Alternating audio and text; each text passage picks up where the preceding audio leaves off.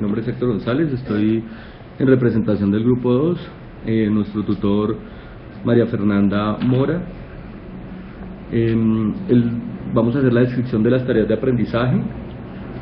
Em, tenemos dos objetivos, uno, uno es, eh, está enfocado al, a graficar y el otro está enfocado a la parte de modelar.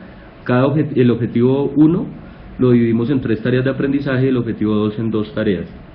Esta tarea 1.1, 1.2 y 1.3 pues corresponden a ese primer objetivo, eh, que es eh. Esta tarea 1.1 lo que busca es que el estudiante em, reconozca esta ecuación que le estamos presentando y de acuerdo con eso halle la amplitud, periodo y desfase y, lo, lo, represente gráficamente. Acá hay algo característico y es que se presenta el 3 menos 3 seno para verificar que no incurra en el, en el error de, de restar ese 3 menos 3 y, y, el resultado sea cero. Entonces, eh, digamos que de esa forma se hizo.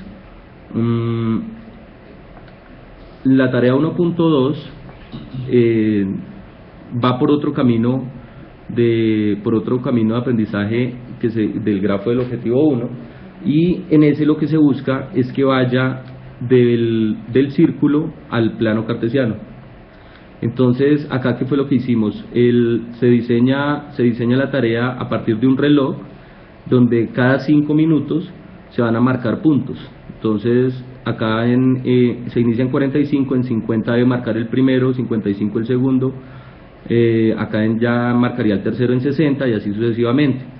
Luego de que tiene todos los puntos, eh, debe iniciar con ángulos de 30 grados a marcarlos, pues ya que por la división quedarían ángulos de 30 grados.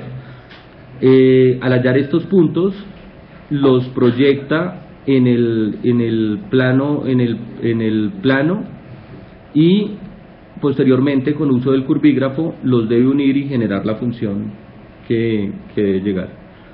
Eh, la siguiente tarea es eh, va por otro camino que sería pasar del, de una tabla de los valores en una eh, tabular pasarlo también a, a, graficar acá lo que lo que buscamos es que con el uso de escuadras el estudiante ubique la escuadra con 30 grados y marque la hipotenusa y el cateto. Con la de 45 marque la siguiente y con la de 60 el siguiente punto, con los 60 grados. Igual va, a medir el cateto de cada una y la, hipotenusa y con esos puntos posteriormente los debe, debe alimentar la tabla con, los valores y, al, y luego eh, tendría que graficar, que es el, lo que se busca por ese, por ese camino, ir de la parte tabular al, al gráfico. Em, en la tarea 2.1 ya va al objetivo 2, enfocado al objetivo 2, que como les había comentado, eh, la idea es modelar la, la función. Entonces, en esta tarea lo que hicimos fue tomar em, unas espirografías eh, de realizadas donde lo que busca el espirómetro es medir el flujo del aire, en el volumen y el flujo del aire en los pulmones, eh, y lo hicimos, o, la tarea enfocada a dos mediciones que se hicieron, una es una espirometría en reposo y la otra en actividad física. Entonces, en reposo la, función se muestra de esta manera y en actividad física llega a este punto, eh, se mostraría de esta forma lo que, lo que la tarea, cómo, cómo, se, cómo, se, cómo se plantea. El estudiante va a tener estas gráficas, se van a hacer entre tres estudiantes, unos van a hallar la, la amplitud, otros van a hallar el periodo y otros van a hallar el desfase. Entonces, la idea es que eh, tengan acetatos y marcadores, colocan el acetato sobre la figura y lo proyectan de esta manera.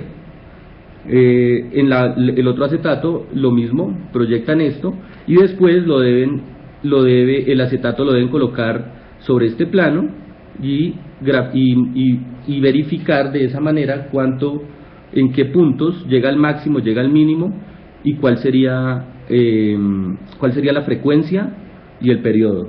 ¿sí? Para el desfase lo que va a hacer el estudiante es que coge el acetato y corre la gráfica hasta el punto cero. El, al ver el cuánto se desplaza vertical y horizontalmente, debe eh, llegar al, al valor de, de, esos desplazamientos. Ese sería, eh, eh, ya al final, también se utiliza el GeoGebra, donde el, docente, el, profesor, tiene, tiene la figura y tiene la figura y lo que hace el estudiante es verificar que la, el, el, modelo que él dio, el modelo al que él llegó, después de hacer este ejercicio, al pasarlo al GeoGebra, sí da la figura que tiene en, la, en el acetato. Eh, la siguiente la siguiente tarea tiene que ver con el espirómetro. Eh, ah, perdón. La siguiente tarea es con la presión arterial. Eh, esta tarea lo que hace es que cada vez que el, la presión arterial, cada vez que el corazón eh, late, la presión de la sangre se incrementa primero y luego disminuye cuando el corazón descansa entre latido y latido. Las presiones máxima y mínima se llaman presiones sistólica y diastólica.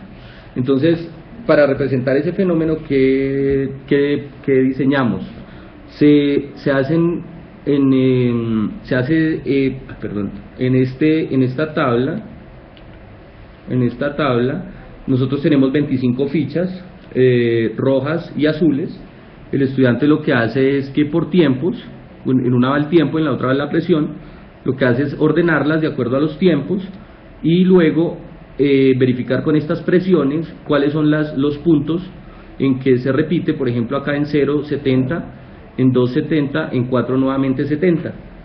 De esa manera el estudiante debe hallar eh, lo mismo, amplitud, periodo, eh, desfase, eh, al momento de, de, unir las fichas y llegar a esta tabla.